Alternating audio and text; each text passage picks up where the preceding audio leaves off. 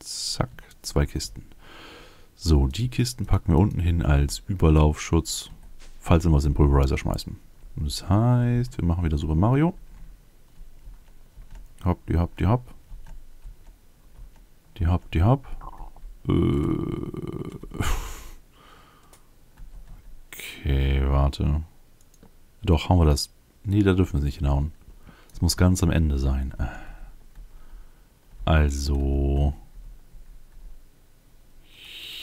Hier. Aber es darf nicht damit verbunden sein. Bestimmt schon wieder voll mit Überlauf. Ja, genau, mit dem Dust. Also. Müsste okay sein. Das heißt, ich hätte gerne den Pulverizer da und würde da gerne Quarzdust reinschmeißen. Äh, Quarz reinschmeißen. Das heißt, es müsste jetzt hier unser Dust rauskommen, das wir brauchen. Was allerdings eine Weile dauert, denn die Item Ducts sind doof. Mit einem Grund, warum ich das Ganze... Was? Mein Inventar wird gerade zugemüllt, weil ich auf dem Rüttler stehe. Äh, aber ja, mit einem Grund, warum ich das im E-System auch möglichst schnell haben will. Weil die Item Ducts einfach doof sind.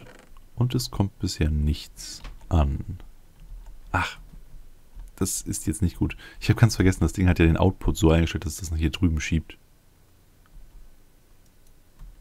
Und ich verstopfe das jetzt irgendwo? Ah, sehr komisch. Warte. Ah ne, hier ist es. Nether Quartz Dust. Du, weg mit dir. Ich brauche eine Workbank. Äh, Workbench. Eine Workbank. Da. Also, Plastik, Redstone, Netherquarz, Quarz herstellen. So. Dann Glas. Glas. Kabel. Davon stelle ich auch gleich ein paar mehr her. So, da ist schon mal recht viel Glas drauf gegangen.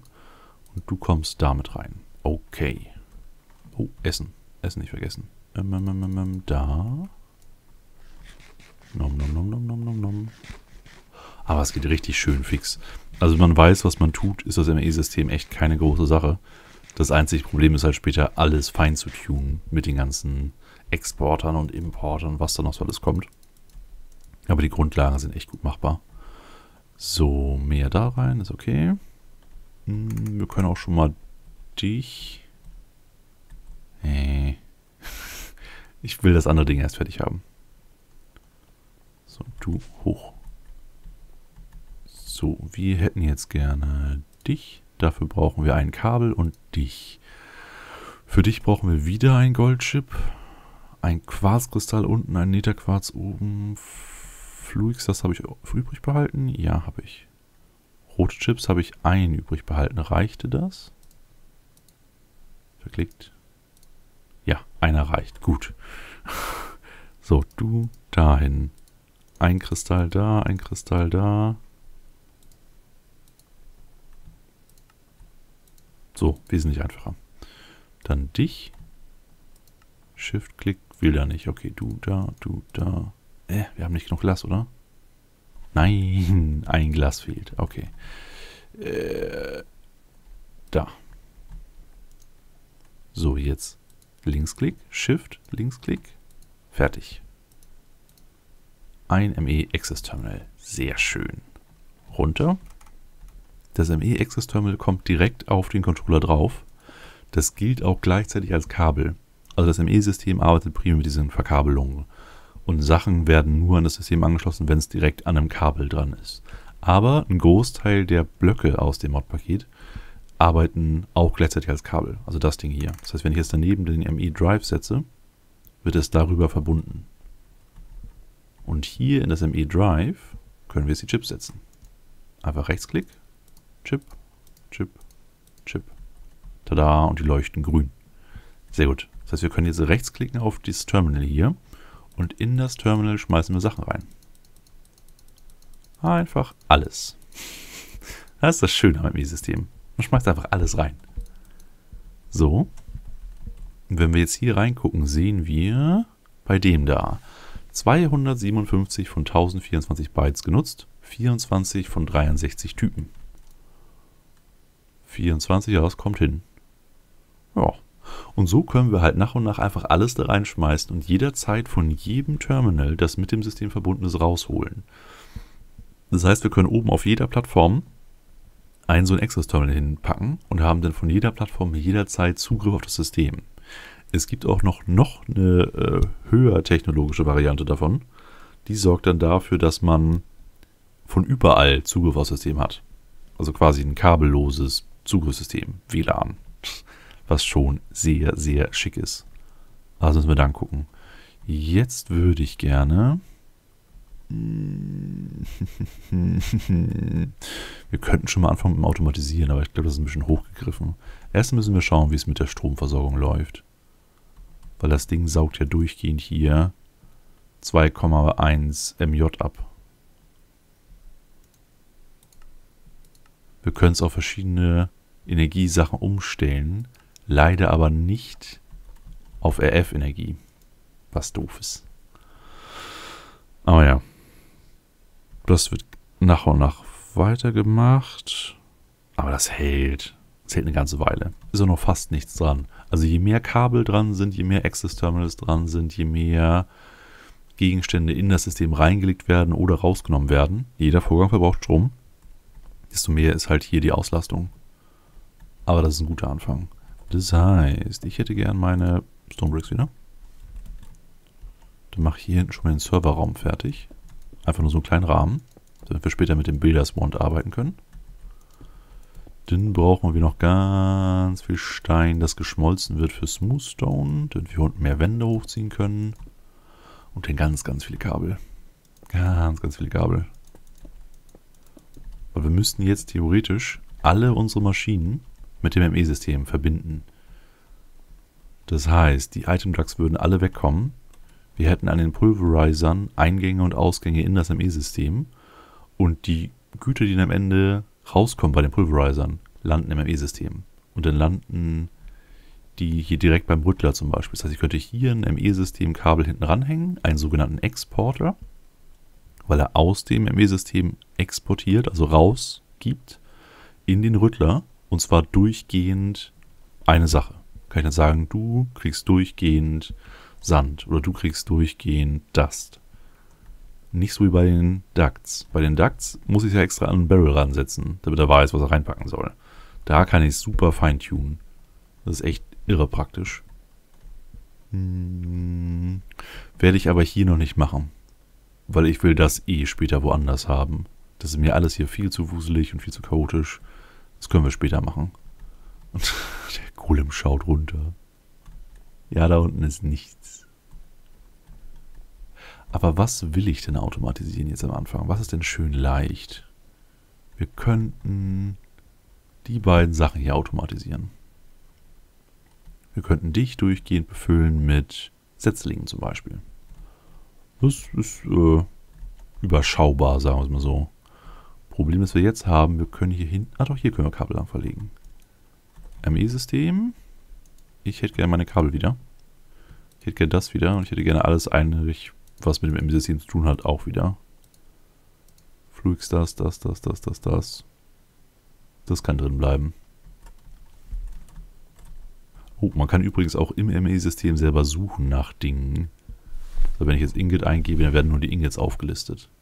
Später kann man auch einstellen, dass Sachen hergestellt werden vom ME-System. Das heißt, du sagst denn, ich hätte gerne ein äh, Mining Drill Precharger. Und wenn man die Rezepte dafür hinterlegt hat, was teilweise recht aufwendig ist herzustellen, dann baut er dir aus allen Rohstoffen, die im ME-System vorhanden sind, die Teile nach und nach zusammen. Das heißt, man muss nicht mehr mehr craften. Das ist einer der Kritikpunkte auch an dem Mod. Er ist tierisch überpowered später und spart tierisch viel Zeit. Aber muss man halt wissen. Ich denke mal, hier bei Agrarian Skies und ähnlich komplexen Mod-Paketen ist das okay, weil man sich sonst die Finger blutig klickt. Aber ja. So. Äh, Kabel. Kabel habe ich. Okay. Wir bräuchten jetzt mindestens einen Exporter. Gucken wir, was die Exporter brauchen. Exp Basic Exporter braucht Pistons haben wir, Kabel haben wir, Eisen haben wir, ein ME-Interface. ME-Interface braucht wieder so eine Conversion-Matrix, braucht also wieder goldene Chips. Davon sollten wir noch ein paar mehr herstellen. Wir haben ja oben Goldblöcke. Was ist hier los? Oh, die Kiste oben quillt über. Wow. Okay. Äh, Bummel raus, Bummel raus. Bio-Sachen raus. Duskberry Busch, alle möglichen Büsche, meine Fackeln, Truhe. Äh, ja, ich sollte mir abgewöhnen, Sachen einfach so da reinzuschmeißen. Bio, hier kriegst du die ganzen Büsche. Setzlinge fahren hier, weg, weg. Das gehört noch zu Biozeug, das gehört an die Wand. Gasträne, da. Hm, Bohrmehl da. Du bist kein Bio. Du gehörst in die Wand. Du gehörst in die Wand. Du gehörst in die Wand. Äh, die Leaves gehören hinten hin. Die gehören eigentlich zu den Setzlingen. Äh, du gehörst hier hin, du gehörst hier hin. Und genau das Problem werden wir später auch nicht mehr haben. Äh, stimmt eigentlich. Ich könnte jetzt eigentlich alles gleich ins ME-System ballern. Hm. Die Versuchung ist ziemlich groß. Mach ich doch einfach mal. Müssen wir nur gucken, wie halt die Chips ausgelastet werden. Also brauchen wir nicht, brauchen wir nicht, brauchen wir nicht, brauchen wir nicht. So, alles da rein. Du, du. Kisten brauchen wir nicht, das brauchen wir nicht. Den Rest brauchen wir eigentlich. Chips sind völlig okay noch. Ja, sehr geil. Okay. Kommt her, ihr Kisten. Ich hatte hier noch so eine komische Kiste, die mache ich mal leer. So. Bauen wir ab. Und hauen das hier hin. So, weg, weg, weg, weg, weg, weg, weg, weg, weg, weg, weg, weg, weg, weg, weg, weg, weg. Ein Hoch auf aufgeräumte Inventars. So ähnlich. Dahin. Oder zumindest besser aufgeräumte. Also auch alle Barrels müssten wir jetzt theoretisch so entleeren. Aber damit warte ich noch ein bisschen. Aber hier die ganzen Sachen, das ist mir schon fast ein Verlangen, das wegzusortieren. Kiste, da. Wir können auch Kisten selber und auch Barrels ans ME-System einfach anschließen. Wobei ich da nicht so wirklich viel Sinn drin sehe. Ich habe das lieber auf dem Chip als auf der Kiste. Also theoretisch können wir die Kiste hier hinsetzen, Sachen in die Kiste packen und dann kriegt die Kiste ein, oh, wie hieß das Ding? Applied. Transition Plane, nein. Ein Storage Bus. Peer-to-Peer-Tunnel? Ich glaube, der war das. Der Fuzzy Storage Bus. Und der nimmt halt den gesamten Inhalt der Kiste und nimmt ihn als Teil des ME-Systems. Also die Sachen, die in der Kiste da lagern oder in dem Barrel oder was auch immer, gehören zum ME-System. Aber warum? Warum nicht einfach gleich hier reinwerfen? Ich verstehe das nicht so ganz. Also, ja. Machen wir es einfach so. Das füllt sich. Schon haben wir 48 Types. Ich denke, es wird am ehesten erstmal an den Types mangeln und nicht an dem Platz. Wobei, wenn wir Cobblestone und so weiter auch noch reinjagen, das könnte gut abgehen. Same. Biokiste. Da. Äh, ja, die Kiste war sowieso immer ein Graus. Da haben wir auch die ganzen Erze mit reingeschmissen. Ja, hier sortiere ich ein bisschen. Steine. Super. Wir haben ein Hightech ME-System gebaut. Und mit was füllen wir es? Mit komischen Pflanzen, Stein und alles mögliche an Metall. So. Äh, ja. Und unbedingt Access Ports, also die da oben auch noch herstellen, damit wir nicht jedes Mal hier runterlaufen müssen. Das ist doch ein wenig lästig. Also, äh, du. Ich hätte gern das Zeug. Kommt auch gleich ins System. Und Gold. Drei Kubikmeter Gold. Da. Dich brauchen wir. Glas haben wir. Okay. Äh, du. Du. Du. Du. Du. Du. So, 20 Goldchips. Sehr gut. Das könnten aber reichen. Hier müssen auch noch Reste drin liegen, genau. Damit können wir schon mal arbeiten. Du hast keine Kohle mehr. Du Nein, nicht wegwerfen. Du leg die da hin. Und hier füllen wir jetzt alles mit Charcoal, weil wir ja genug Bäume haben. Du da, du da. Kohle kann hier hin. Holz, Holz, Holz, Holz, Holz. 15 Stacks Holz. Das ist so geil. Du dahin. Mach mehr Kohle, mach mehr Kohle, mach mehr Kohle, mach mehr Kohle.